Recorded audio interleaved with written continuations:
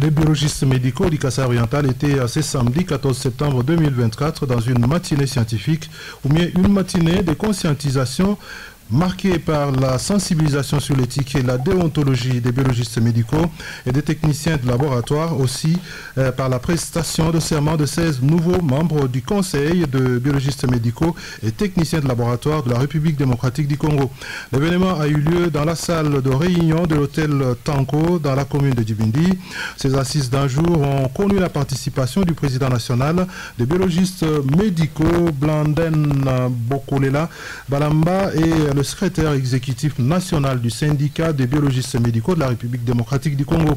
Après les mots de bienvenue, le président national du Conseil a présenté une brève historique de la structure. Il nous donne ici les objectifs de, de ces conseils. Nos objectifs se retrouvent à l'article 7 de statut et se résument en ceci. Protection, promotion et régulation de la profession de la biologie médicale. Pourquoi protection? Parce que c'est notre profession et ne peut faire cette profession que la personne qui a subi les théotaniques. Il est A2 comme nos amis de l'INEM, il est A1 comme nos amis des systèmes, il est licencié. Ça, nous voyons l'ancien système celui qui aujourd'hui fait le système LMD, comme celui qui a étudié la biologie médicale à différents niveaux. Pourquoi nous insistons? Parce que le laboratoire est envié par tout le monde. Même ceux qui n'ont pas fait le laboratoire, on le voit au laboratoire travailler à notre nom et quand ils commettent des débuts, ils disent c'est les résultats du laboratoire. Boko Bella Blanden a ensuite exposé sur l'éthique et la déontologie des biologistes médicaux.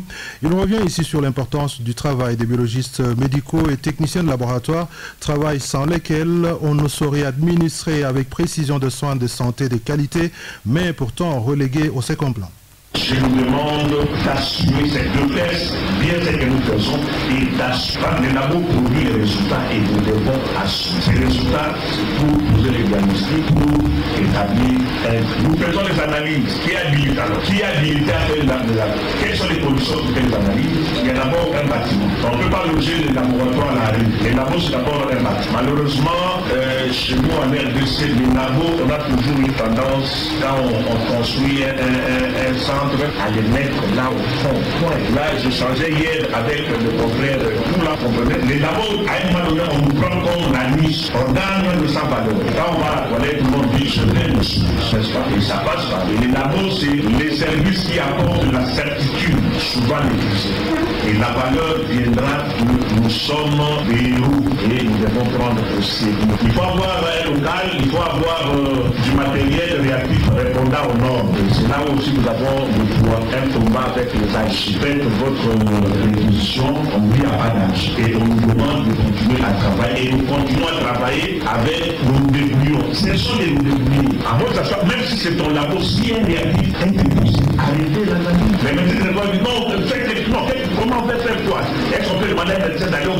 Mais pourquoi nous, on va toujours vous dire non, débrouillez-vous. Si nous commençons à pour sa part, David Toula, président provincial du Conseil, a fait remarquer qu'il travaille avec une petite équipe de 10 personnes. Il parle ici de la participation de tous les membres aux activités de la structure. 44 sont adhérés au niveau national et 146 membres effectifs qui sont affiliés. Et aujourd'hui, le 14, nous venons de recevoir environ 16 membres. Ces membres participent aux activités permanentes de notre corporation et à certaines organisations prévues par le Conseil. Nous terminons ce petit mot de circonstance en vous souhaitant bonne journée de conscientisation et vous avez bien sûr retenu ce qu'on vient de nous dire, surtout quand on parle de l'éthique, quand on parle de la déontologie et aussi s'approprier de la corporation. Parce que le thème d'aujourd'hui, c'était ma corporation. Je voudrais que chacun de nous ne dise pas ta corporation, ma corporation. Et si c'est votre corporation, vous serez là pour organiser. Et vous allez souhaiter à ce que la corporation a été là. Nous avons noté qu'au cours de cette matinée, 16 nouveaux membres ont prêté serment et ils ont été admis au sein du Conseil des biologistes médicaux et techniciens de laboratoire de la République démocratique du Congo.